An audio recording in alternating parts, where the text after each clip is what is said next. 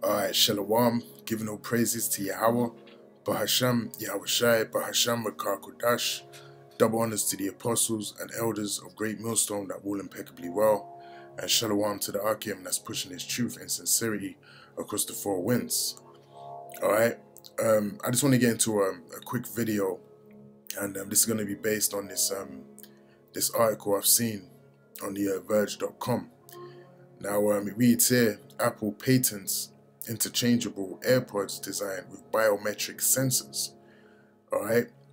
Now, um, the reason I've decided um, to do a video on this particular on this particular um, news is because you know when you when you see you know any technology regarding you know biometrics, um, NFC, you know brain chips, RFID chips, you know, this is all heading towards what? This is all heading towards the mark of the beast that's spoken of in uh, Revelations, the 13th chapter. All right? Which, you know, we might as well go to it right quick.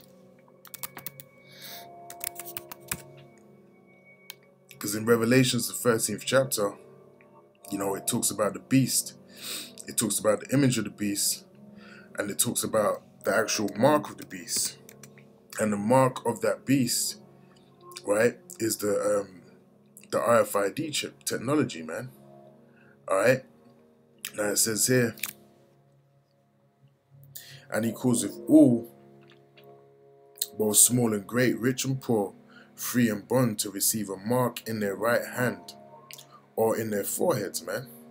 Now this mark is talking about the RFID chip, which I'll get on the screen so you can see what we're talking about when we mention the RFID chip, man.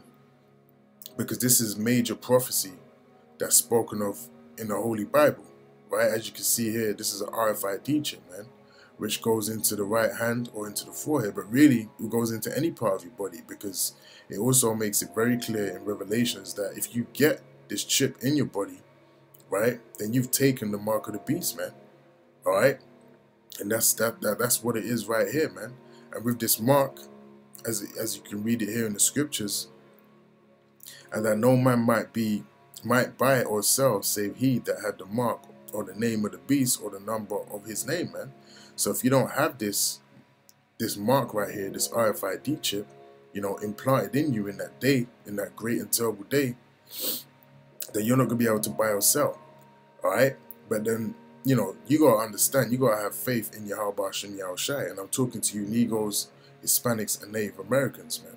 Alright? This is who this video is really to because the other nations, they can take the mark, man. It doesn't matter whether the other nations take the mark or not.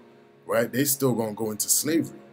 Right? But if, if, if you're if you're an Israelite, you know, if you're an Israelite, if you're from the tribes, you know, if you're from, you know, if you're either a Negro, Hispanic, or Native American, and you go back to you know, the tribes of Israel, you know, and you take that mark, then you're going to receive the judgment, the penalty of taking that mark, man. All right, now back to this article. It says here, Apple's AirPods may may be the best-selling, best-in-class wireless earbuds, but they're not for everyone. Due to the shape of some people's inner ear, the headphones simply don't fit every possible as every possible ear shape well or in some cases cause pain when placed firmly inside the ear.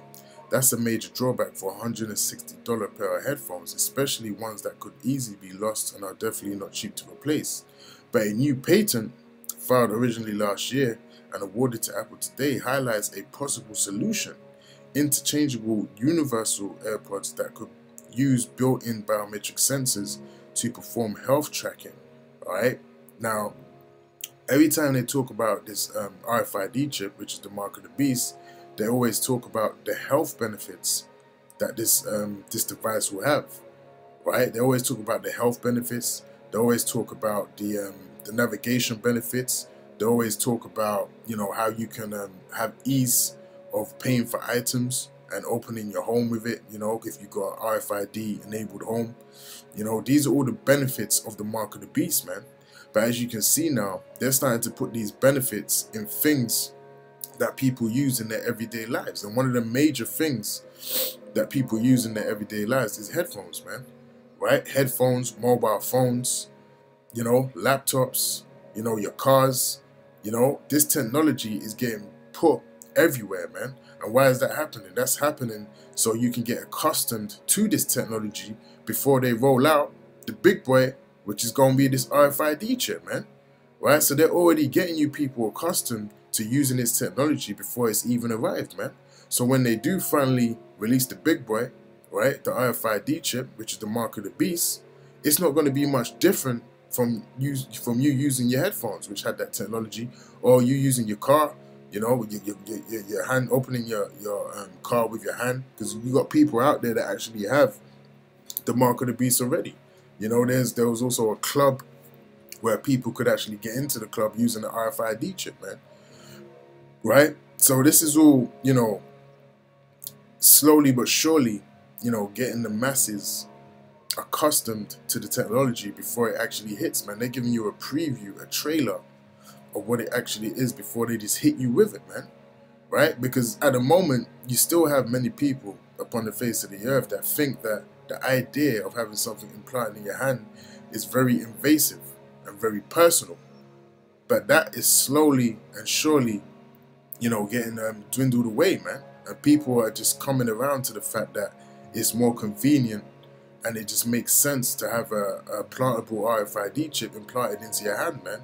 And believe me, Esau is gonna Esau is gonna, you know, create more ways of making the people actually want this RFID chip, man. Because it's gonna come to a stage, you, you know, he gonna cause you to take it, but the, you're, you're gonna have an abundance of people that are actually gonna take the mark of the beast because they actually want to take it and they actually want it in their life, man right? That's the point that we're coming to right now. Jake are going to want the RFID chip, man. The two thirds are actually going to want to take the RFID chip. And, you know, you got over there in Sweden, um, a large majority of the people over there, you know, you know, they they they they have the mark of the beast, man. Right? They already, you know, getting into their their work buildings with the mark of the beast. They're paying for items with the mark of the beast. You know, cash cash is pretty pretty much a thing of the past when you go to Sweden. You go to certain other countries throughout the four corners of the earth, man. You know, there was also a video I done a few um, a week ago where they were basically saying how Vietnam is, you know, slowly doing away with cash, man. All right, so you know, many nations, man, upon the face of the earth are coming to the real realization, you know, that you know they want to do away with cash, man, and that's all because Esau Edom has been putting a lot of money, you know, a lot of promotion, a lot of marketing into the mark of the beast and the RFID technology. All right, and it's, it's, you must realize that this technology is a billion dollar industry right now, man. Right? And its worth is going up by the day because it's going to be the staple and it's going to be the main function that the world operates under, man. All right?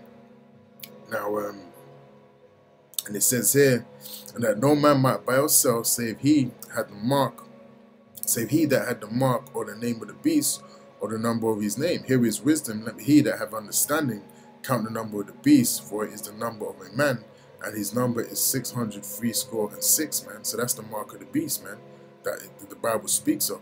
All right, and here's a picture of it once again, because you know you're gonna be subject to take the mark of the beast, man, because it's gonna be it's gonna become mandatory one day, real soon, man. Right? And we we can't put a, a particular date on when it's gonna become mandatory, but we know through looking at the science and looking at the things that are happening in the world that this is going to be the main thing that is going to be in the world, man. That people are going to want to desire. You know, some people will reject it, but you know, you're going to be faced with death, man. Right? But, you know, the elect of Yahweh Shem Shai, you know, they're, they're going to choose death. They're going to be kept from the hour of temptation, as it tells you in um, Revelations uh, chapter 3, which we'll get right quick and then we'll close out uh, this is Revelation 3 and 10.